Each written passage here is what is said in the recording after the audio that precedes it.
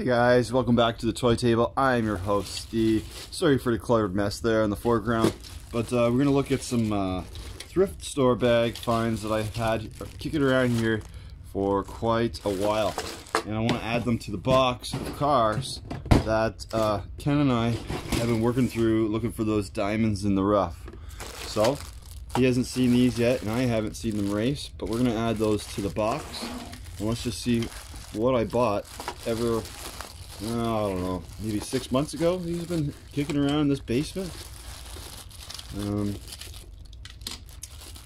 just, I got out of doing the Thrifty Thursdays, of that routine, and kind of saved myself some money.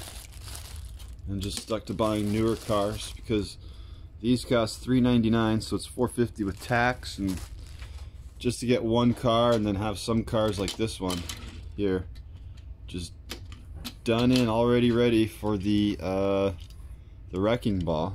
So the that one's no good. Why did I even buy this one? Maybe the spoilers? It had three spoilers. Maybe I didn't buy this one too long ago. Alright, but this one is a McDonald's car with a spoiler. There's no shortage of those around here. Then, uh, a Nissan Silvia S15 or yeah, I guess that is an S.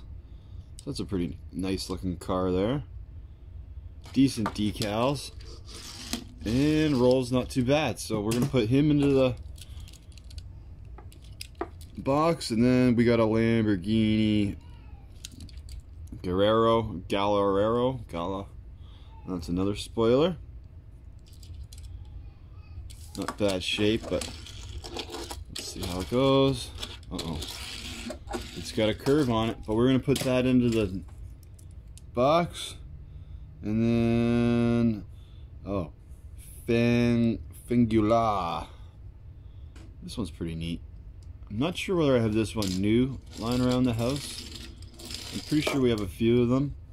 It's kind of interesting. It has the pizza cutter wheels and the big back wheels to get the like grip. All right, so that's the one thrift store bag finds added to the box. Be interesting to see if Kenny notices those. So we got a 71 Maverick. Pretty nice car in this uh, color.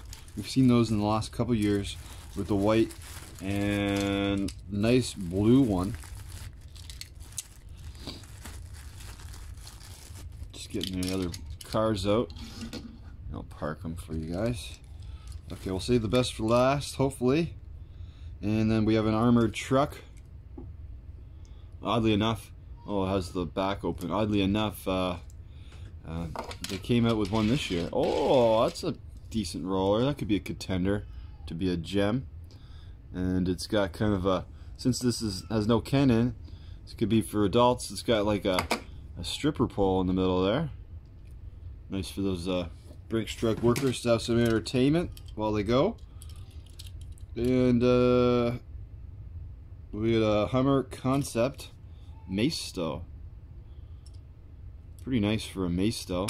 Good details on it. Pretty sturdy. And it's those treads that make that noise against the table.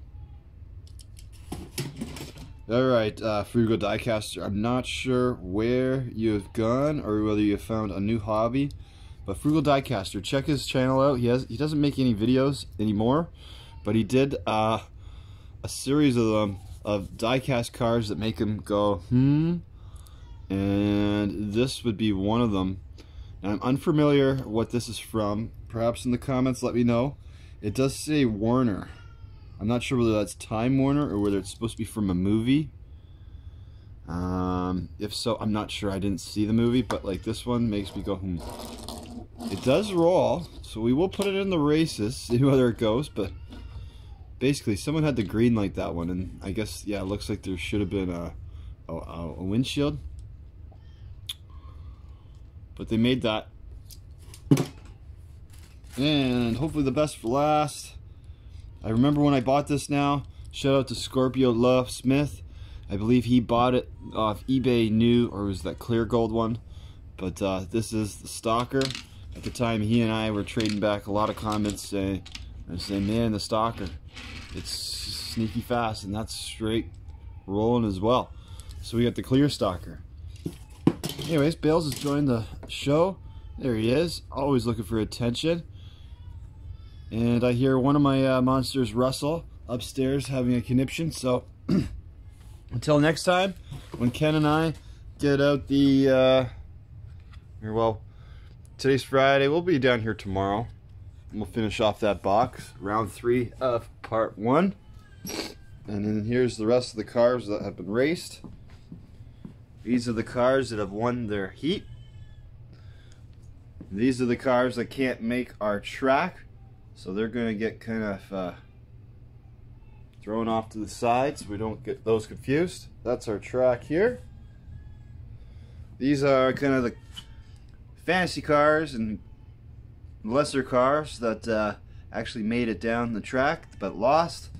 And then here are kind of the name brand cars that I will get sorted out uh, when we get more CD racks. Anyways, until next time, keep those tires pumped and racing. Thanks for watching, guys.